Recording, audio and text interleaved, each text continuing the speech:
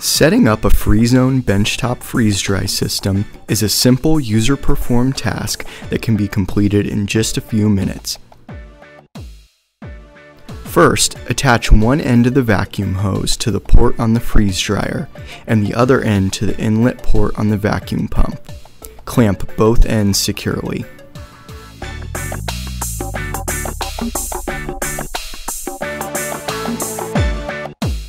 Next, plug the vacuum pump's power cord into the receptacle located on the back of the freeze dryer.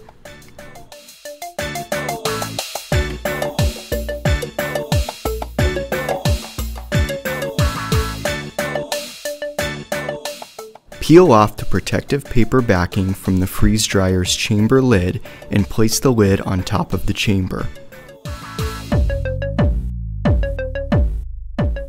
Center the flat rubber gasket on the hole in the center of the chamber lid.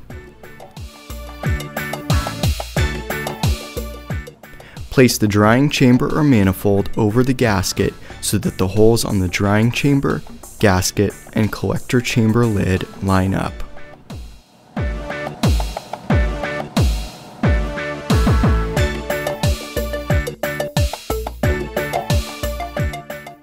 Connect the freeze dryer's power cord into the receptacle on the back of the freeze dryer and insert the other end into a suitable wall receptacle.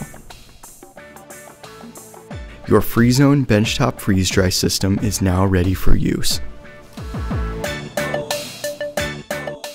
For more information, contact your Labconco representative.